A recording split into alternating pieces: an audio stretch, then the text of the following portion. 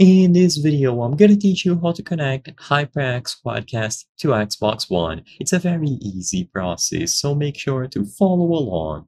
The HyperX Quadcast microphone is a USB mic primarily designed for PC and Mac usage. Because of this, you won't be able to set it up directly on an Xbox One. If you try to directly connect it to any of the available USB ports, it will not be picked up. So as it stands today, while it is possible to use the HyperX Quadcast on your Xbox One, you will have to do a big workaround, and I'm gonna cover that in this video. So you will require a 3.5mm male-to-male audio cable, and a Y-splitter cable with one female and two male 3.5mm jacks, and finally, an Xbox One stereo headset adapter. After you gather all of these components, you will be able to start the process of connecting them all together. So connect one end of the 3.5mm male-to-male cable to the headphone jack of the Quadcast, and the other end into the 3.5mm cable to the female jack of the Y-splitter. With the Y-splitter connected, to the headphone jack on the Quadcast and set it up, you will be able to plug the Xbox One stereo headset adapter into the Xbox controller.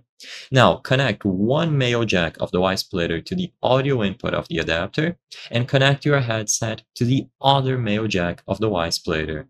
After all of that is done, and essentially you connect everything together with the Y-splitter, you will be able to turn on your Xbox and the Quadcast, and when you go over to the Xbox audio settings, you will be able to choose the headset mic, the HyperX Quadcast as the input device.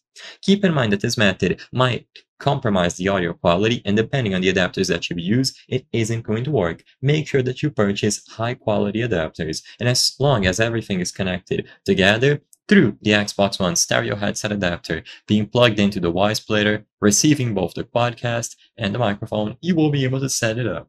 I hope I was able to help you on how to connect HyperX Quadcast to Xbox One. If this video helped you, please be sure to leave a like and subscribe for more very easy tips. Thank you for watching.